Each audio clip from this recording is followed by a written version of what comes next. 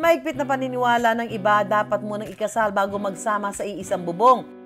Pero para sa ka-wonder nating sina Michael at Cindy, magsama muna para sa mas matibay na pagsasama. Nag-umpisa ang kanilang pag-iibigan noong nagkita sila sa kanilang high school reunion. Dating magkaklase kami. Nagkausap kami ng mga kaklase namin ng grade 7 na kailan ulit daw magre-reunion kami. Hanggang sa nag 3 days na nag ano kami communication na sunod-sunod yung chat namin na kami lang dalawa. Then, nag-decide kami na magkita. Araw-araw na nga magkausap ang dalawa hanggang sa lumalim ang kanilang nararamdaman sa isa't isa. Pero kagaya ng ibang relasyon, hindi raw palaging masaya. Kung mahal mo talaga ako, paglalaban mo kasi yung nanay kasi niya parang hindi boto sa akin. Hindi sila boto rito eh. Kaya ang nangyari, para iyan ko sa kanya na mahal ko siya, binahay ko siya. Maliman sa paningin ng iba, naging paraan daw ito ni Michael para mapatunayan niya sa kanyang mga magulang na si Cindy ang para sa kanya. At nang magkasama na sa iisang bahay ang kanila raw pagsasama, mas lalong naging matibay. Hanggang sa ang kanilang pagmamahalan nagbunga. At makalipas ang limang taon na pagsasama, para na rin sa mga anak na isipan na ng dalawa na magpakasal. Ikakasal ang dalawa ngayong Hunyo sa kasalang bayan sa kanilang lugar. At kapag usapang kasalan, budget ang kailangan. Kaya naman to the rescue si Budgetarian Brad dyan.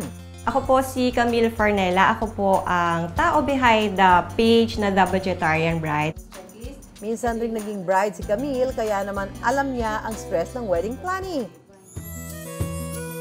Kaya naman para matulungan sina Michael at Cindy sa paghahanda sa kanilang big day, hihingi sila ng tips from the budgetarian bride herself. Ang goal ko po is makatulong sa mga soon-to-weds kagaya ninyo na nagpaplano ng wedding within a budget and as much as possible ay stress-free po.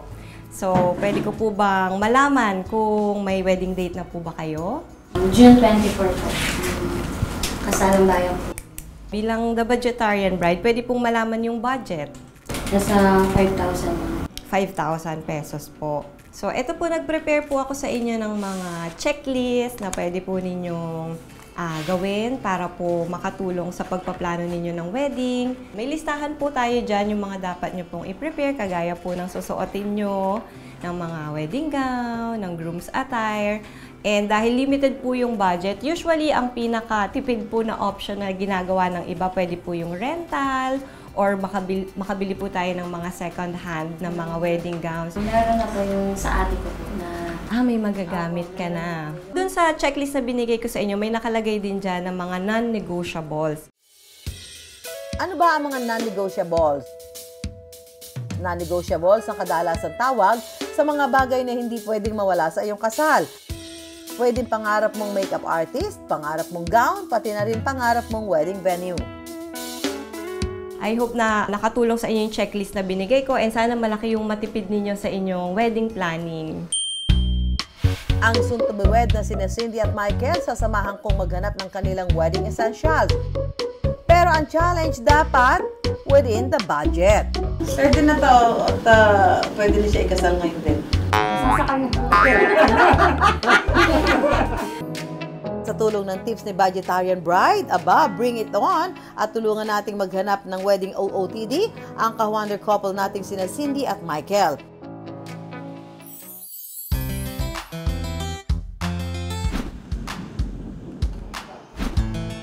Si Cindy may nahiram ng wedding gown sa kanyang ate, Sasakal na po. si Michael naman wala pa raw isusuot. Nako, nako, nako, don't worry. Fairy Godmother Susan is the key. Okay, ito ba mga kawander, kasama natin si Mark. O yan, dito isa sa, sa isang bridal store dito sa Quezon City. Pinaparent nyo to, no? Yes po. Kumusta ang rental pag ganun? Ah, ma'am, tuwing June po, tuwing peak season yan. Peak season ang June? Yes po, yes, June. Mga May, June, yes po. Mm. Speaking of, for groom, may kasama kami dito ikakasal. Yes po. Oo, pero at may kasama itong ano, ah, stylist, fashion stylist. Para to, to, Sandro and the couple. Ay, ay, ay. Halika na. Dito, dali. Ito. Ay, halika, Sandra. Tulungan na nga natin to. Pumili itong dalawa ng, ano, ng para sa iyo, ha? Opo. Oo. Ah, let's go inside. Mark, eh, alimbawa, ikaw ang papipiliin. Ah, ano yung sa tingin mo bagay na kulay dito sa couple na to? Um, yung kulay na gusto ko kay groom, parang gusto ko siya sa black. Pero kung may prefer po kayo na color, sir, please. What color is this? This is blue. Blue.